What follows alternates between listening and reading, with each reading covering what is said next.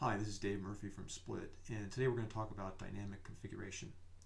You can attach configurations to any of your treatments on a Split's targeting tab to dynamically control components of your features, whether front-end UI-oriented features such as text, fonts, or colors, or back-end services such as number of retries until timeout or pagination limits. These configurations give you the ability to make modifications to your features on the fly, so you can experiment with different variations of a feature with your customers without the need for a code change. Within the Targeting tab, you would go to Attach Configurations to your treatments. In this case, I have three treatments, a high discount value, a low discount value, and no discount.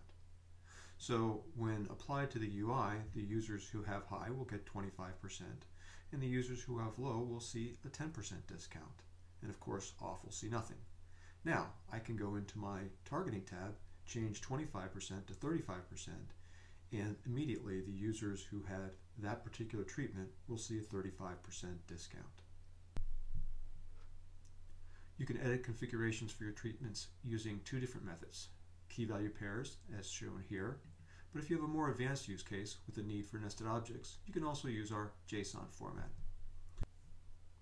Let's take a look at a very simple example. This is our boxes demo, and in boxes we have three treatments, uh, premium, standard, and our current version of the feature.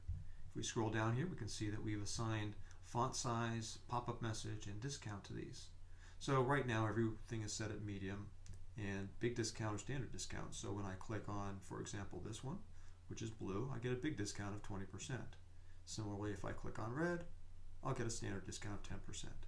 Now I can come in here and change my font to extra large and my discount to large or extra large. And the discount, let's say we're going to move that up to 30%. So I'm changing all elements in this case. Obviously, you don't necessarily need to do that. If I save my changes, we'll see that reflected over here where the fonts on the blue get extra large. And when I click on one of them, it says extra large discount of 30%. So that's a very simple example that we can see. Now it's pretty easy to conceive of dynamic configuration in the front end where you can make a change like I just did to the user interface or to a pricing setting. But it's also useful for back-end configurations. Very interesting use case that we've seen recently is weighting for a search algorithm. The customer had four different criteria for how they would return a user search and each one of them was weighted differently. They played around with the weightings, setting different values over time to determine which one provided the best results.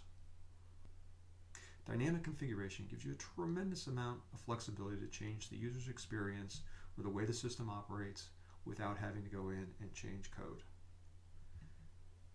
For more information, you can visit help.split.io or contact us. Thanks.